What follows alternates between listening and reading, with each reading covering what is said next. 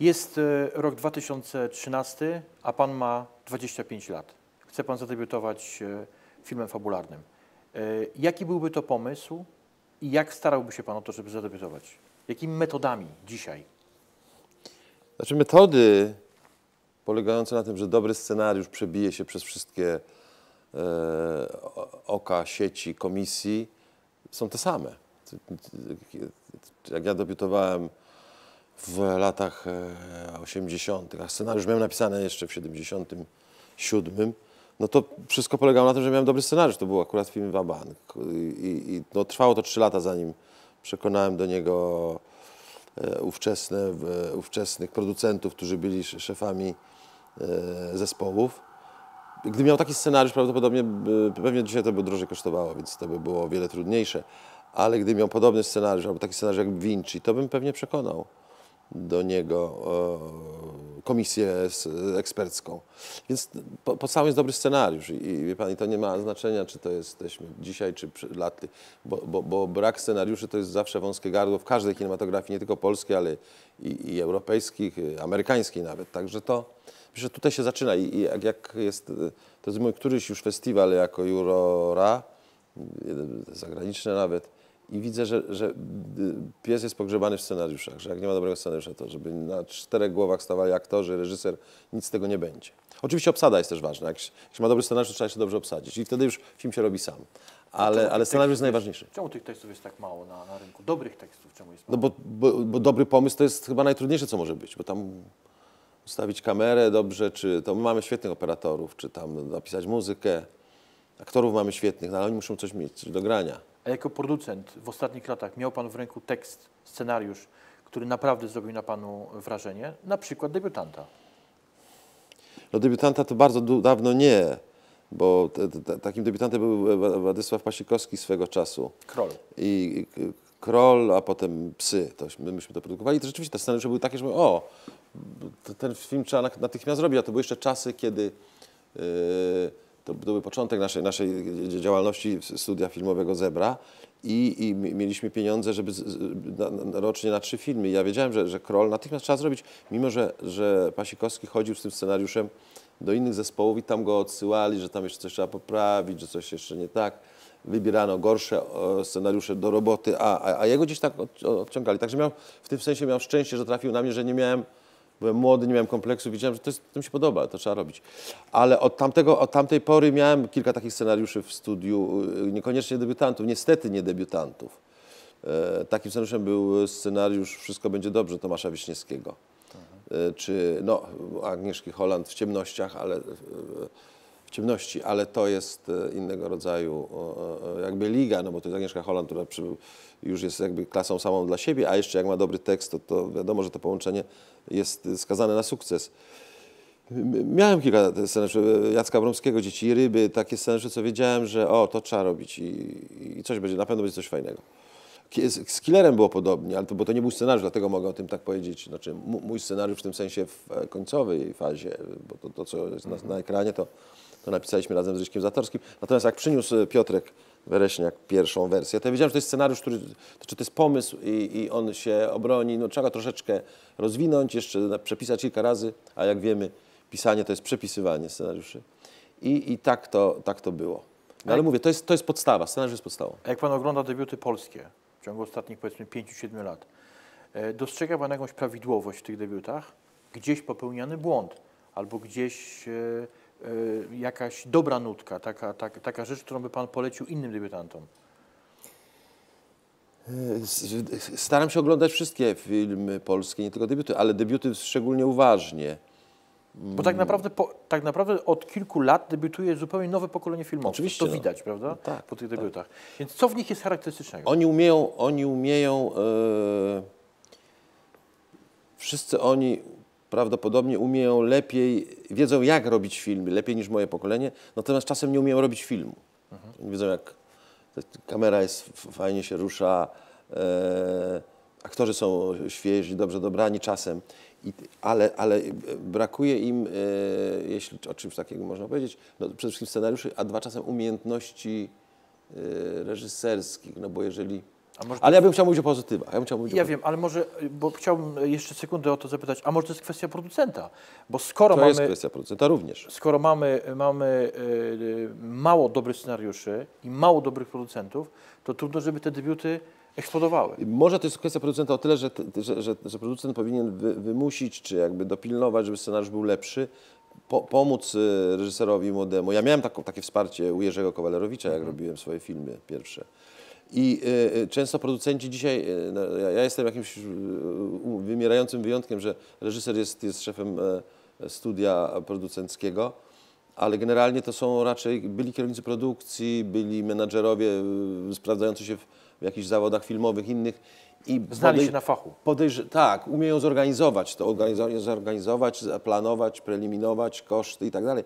Natomiast czas, często brak jest takiej, takiej do, dodatkowego mózgu, e, e, który, który jest, e, mm, e, jest e, sprzymierzony z reżyserem, który idą w jedną stronę, tylko ten, kto stoi, producent ma zawsze łatwiej, bo widzi, bo widzi z większym dystansem, więc, więc może pomóc. I, I tego, podejrzewam, że tego musi brakować mło- młodym naszym e, e, kolegom, którzy zaczynają w tym zawodzie. A, ale co jest charakterystycznego dla tych nowych y, y, produkcji? Ja, ja widziałem kilka e, filmów, które zrobiły na mnie wrażenie, takie jak e, e, Dzień Kobiet, czy Bez, mi, Bez Miłości to się nazywało? Takiego e, Marczewskiego, dobrze mówię? Bez miłości. Tak. To te filmy, które o dziwo nie, nie, nie wzbudziły jakiegoś na festiwalach jakichś zachwytów, to, to na mnie zrobiły wrażenie. Czy, czy Kobieta z szafy, bo do koksa.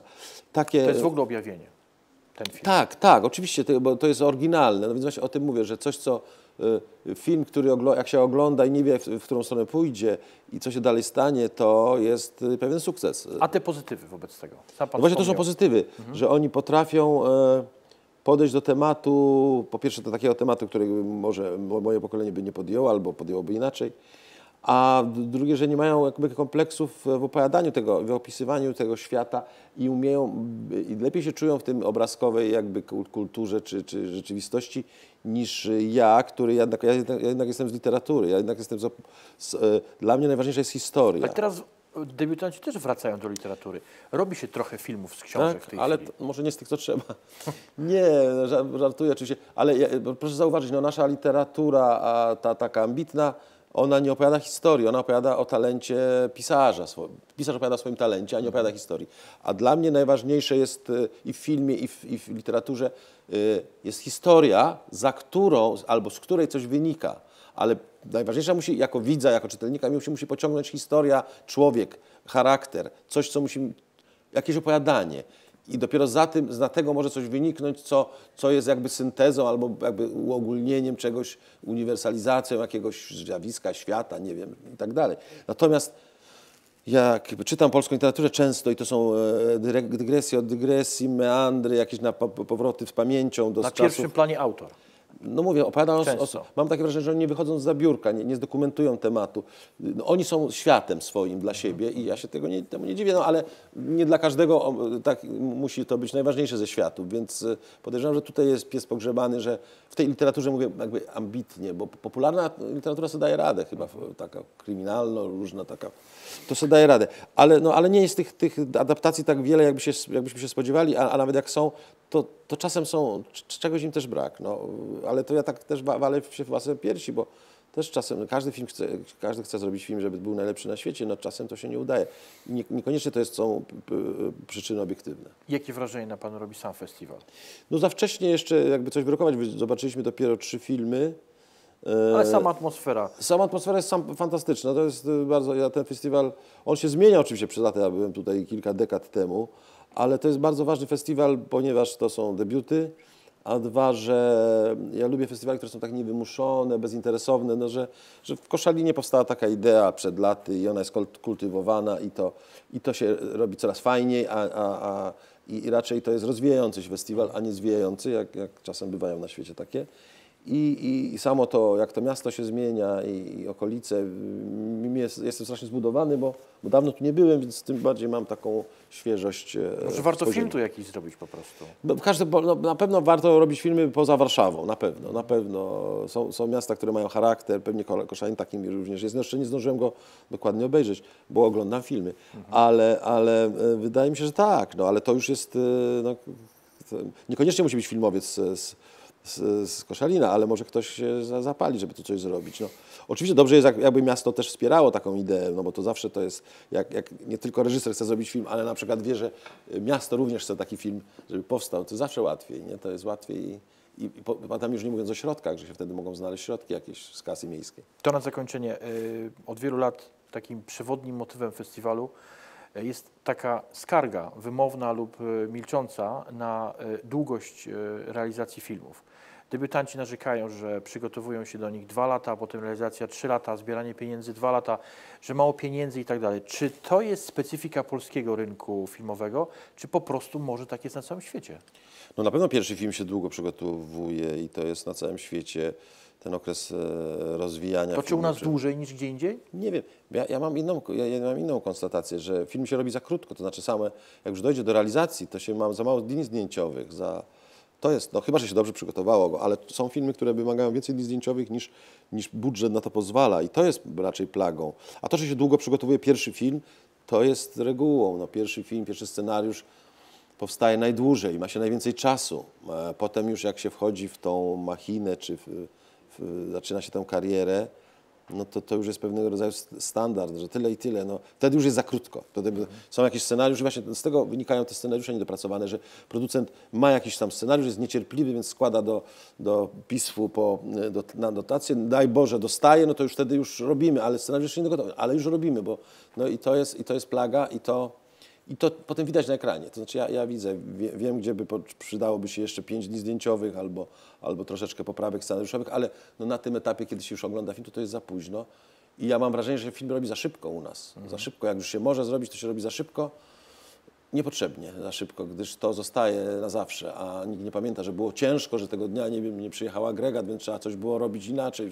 Tego się nie pamięta, natomiast, natomiast to zostaje. I no, to nie jest tak jak w teatrze, że można przedstawienie, można jedno nieudane, można poprawić następnym razem, bo tam się porozmawia z aktorami, wykrzesza się nową energię i tak dalej. To jest raz na zawsze i, i każdy film się powinno robić jako pierwszy i ostatni, bo to wtedy y, trzeba palić za sobą mosty, żeby się nie miało odwrotu i wtedy może be- bez y, koncesji, bez, y, i bez kompromisów się robi, bo to jest chyba najważniejsze. Wygra film, który?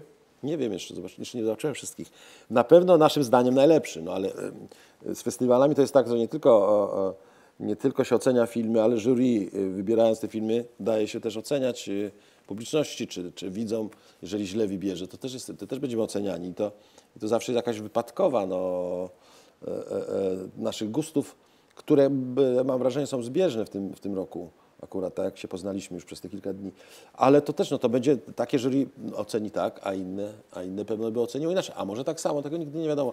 Nawet Oscary to jest średnia jakichś tam głosów i przypad, przypadku, że ktoś widział, a ktoś nie widział filmu, więc ja bym był, e, ja bym był ostrożny z wyrokowaniem. Oczywiście filmowi, który tu zwycięży, to jakoś pomaga, bo to jest jakaś pieczątka, która pomaga. Ale nie daj Boże, by, e, żeby nikt nie myślał, że jak jakiś film nie dostanie nagrody, to znaczy, że coś jest z nim niedobrze. Czasem, czasem po prostu się może nie podobać temu jury, albo, albo jury jest niewrażliwe na taki film. Ale to, i, ty, i tyle, ile filmów, tyle, tyle może być festiwali w zasadzie. Bardzo dziękuję za rozmowę. Ja dziękuję. Dzięki.